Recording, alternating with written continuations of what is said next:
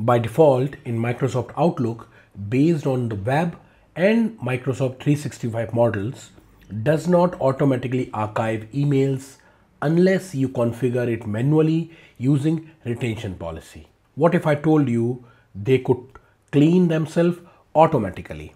In today's video, I will show you how to use Power Automate to automatically archive emails older than one year in Microsoft Outlook. And once you set it up, it's run forever. So let's jump right into Power Automate. Go to make.powerautomate.com. Now first, you have to click on this create, which is available on the left navigation section. Now you will see few by default templates over here. Now you need to select schedule cloud flow because I need to schedule it. So I select scheduled cloud flow. Now first give your flow a name. So I name it archive old emails. Now you have to set this flow. So first the starting date and time. It will automatically fetch today's date and time. So I need to repeat this flow every day. So one is already selected. I need to change this flow. So I select day. You can also use week depending on your requirement. Now hit create. Now when you click on this recurring, you will see all the details which you have already given here. You can change it according to your requirement here also. Now first click on this plus symbol, the new step and here search for get emails. So I simply hit get, get emails v3, select it. Now here you need to set the folder as inbox which is already here selected and choose the number of emails you want to fetch. So currently by default 10 is selected, I select 100. There are few other informations as well, see important, any, I remove this, not required for me currently. Only with attachments, no, I also remove this also. Fetch only with unread messages, yes, I also don't want this as well. And the last one is include attachment.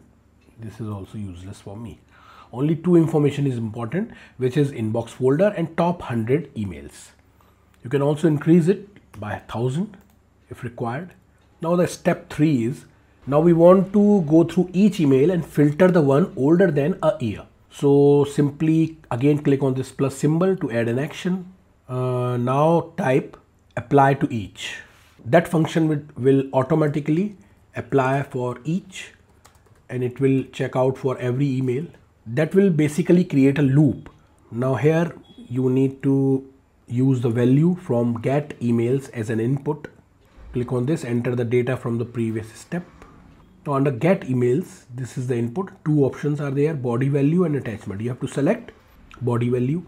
Now inside the loop, that means from here, you have to add a condition. Again, click on it, add condition, search for condition over here. So this is the condition under control in case you don't uh, check this out simply hit see more and you will see condition. Now condition will be true and false.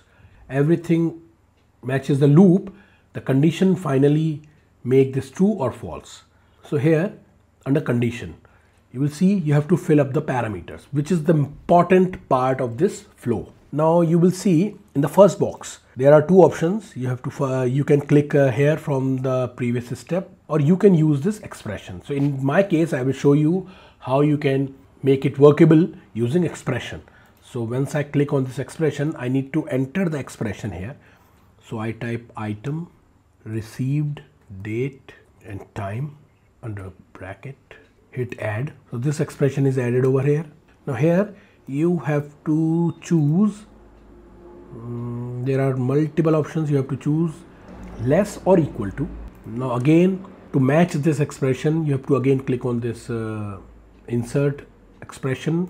Now here, here you have to again insert another expressions which is add days UTC now. This is the current date is is uh, basically equal to 365 this is 365 is a year. Hit add. So this compares each email's received date to today's minus 365 days this is the basic expression. Now in the yes branch, in the true branch, add move email. this is move email v2 now here first you have to select the message id which is your dynamic message id click here click on see more and you will see this message id folder now here you have to select that folder in which you will automatically send those archive emails into. So i select this open folder.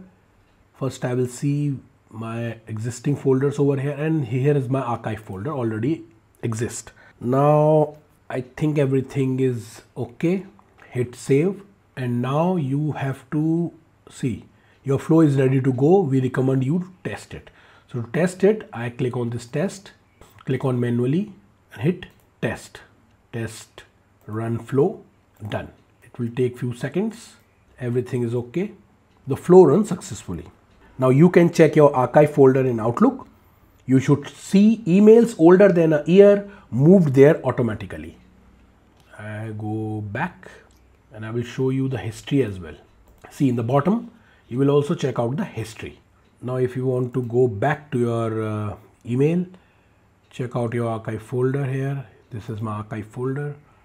And here is the only one email.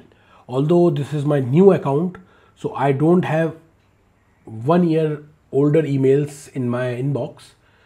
But from now my flow is automatically run every day.